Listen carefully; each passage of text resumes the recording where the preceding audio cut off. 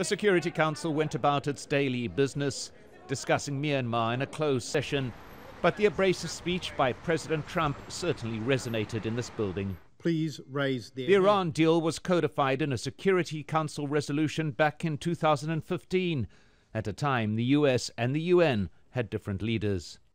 What has been agreed by the United States and European Union, uh, also Germany, with Iran must be fully implemented. Uh, it is a very important deal. I'm sorry to see what is now happening.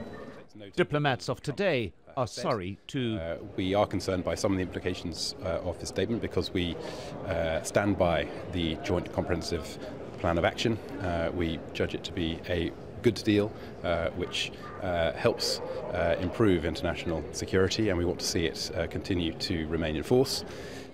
Others argue the US cannot unilaterally amend a Security Council resolution.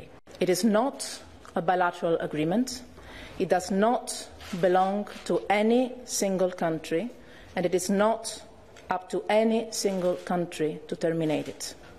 It is a multilateral agreement which was unanimously endorsed by the United Nations Security Council Resolution 2231.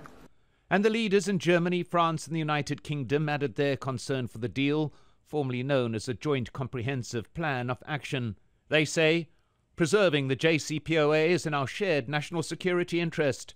The nuclear deal was a culmination of 13 years of diplomacy and was a major step towards ensuring that Iran's nuclear program is not diverted for military purposes.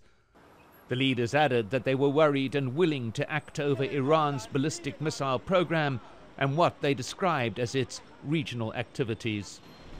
Iran has sent a formal letter of protest to the UN Secretary General. It says, The Islamic Republic of Iran will not be the first to withdraw from the deal, but if its rights and interests in the deal are not respected, it will stop implementing all its commitments and will resume its peaceful nuclear program without any restrictions.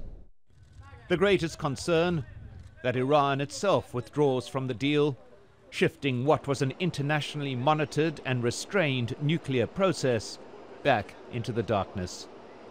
Mike Hanna, Al Jazeera, United Nations.